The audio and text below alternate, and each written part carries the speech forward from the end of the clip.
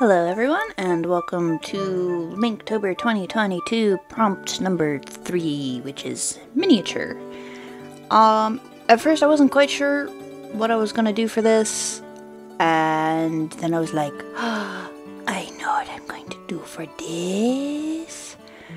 So what I am doing for this is Ghirahim holding up a unfinished carving which is meant to vaguely resemble him. Uh, but this Ghirahim is the one from my Skyward Sword story, which takes place five years after the end of the game. Link found Ghirahim sort of stuck in the middle of the woods, and they agreed to work together, Ghirahim becoming Link's sword and changing from a demon blade to a shadow blade. And this scene takes place the first time Ghirahim enters Link's house.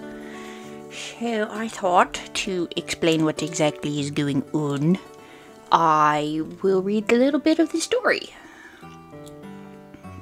Um, so, like I said, this is the first time he was going to his house. Where am I? Okay, there I am. He was surprised to see how out of the way Link's home was. It was closest to the temple, and there was a fair amount of space between it and the nearest house. It sat right against the tree line, with some debris from the wilting temple nearby. More surprising to the white haired man was how modest it looked both outside and in. The entrance opened right into a small living space with a hearth, two chairs, and a small couch, as well as a small as well as small bookshelves on the right wall and the table and chair in the corner to the left of the door. Link went into a door to the left where the table was. Glancing in, Ghirahim saw a bed, figuring it must be the bedroom. He moved about more, seeing a bathroom, a small eating area, but he wouldn't really call it a dining room, and a small kitchen that completely looked unused. Moving back to the living space, the table caught his attention again. On it was scattered papers and small figures, wood shavings, and paint. He picked up a paper, seeing a painting of the great tree in Faron Woods. Did you make these? The papers and carvings showed things and places Link would have come across in his adventure. Eldin, the Mogmas, the Kikwis, even the mining facility was painted out on several papers. As he looked through, he saw the progression of skills, some of them having been redone at some point to improve what was there. Ghirahim actually found that he was rather impressed, never having expected Link to have such an ability. Hmm? He poked his, Link poked his head out at the question. Oh yeah, it's one of the only things that's been keeping me from running off. He went back into his room to start sorting his things. Or finish, sorry. I also use them to tell the kids about everything that happened. It seems no matter how many times I tell it, they still want to hear it again. He chuckled as Ghirahim continued to look at everything in turn. He picked up two figures that were unfinished, seeing about four more that seemed to have all been failed attempts at the same thing, or person, perhaps, from the shape. You are an absolute pain to carve, I'll have you know. Link smirked, leaning on the doorframe, watching Ghirahim look over everything.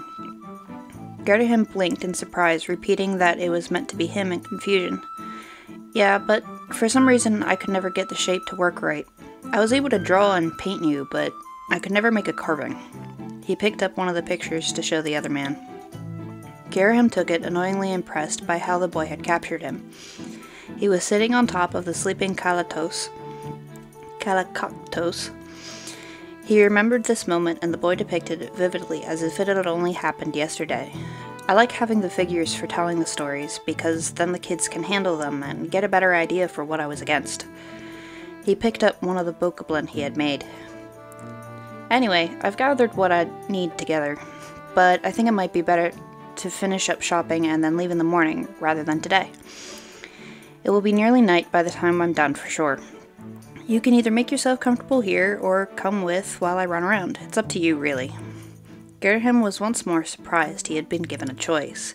He thought about just looking through the small selection of books before Link's last comment. Of course, Groose's face when he sees you would be fantastic. He smirked a bit, showing he had a bit of mischief in him. Now, that was a good reason to come along indeed. So that was the end, last few paragraphs of, I guess, the third chapter. It goes along with the third picture in the story. I draw the picture and then I write the story. I still have to write the story for the seventh picture that I drew. Um, but yeah, I really enjoy writing just as much as arting. I just don't do it as much as I would like, which is on me, but you know. But I'm really happy with how it turned out. I like how his hand came out, and I like how the figurine came out. I mean, I guess I probably could have made it a little more wood-ish, but I wasn't sure how. Uh, and yeah, I'm really happy with this one. I've been enjoying going a little bit more simple and easy with these.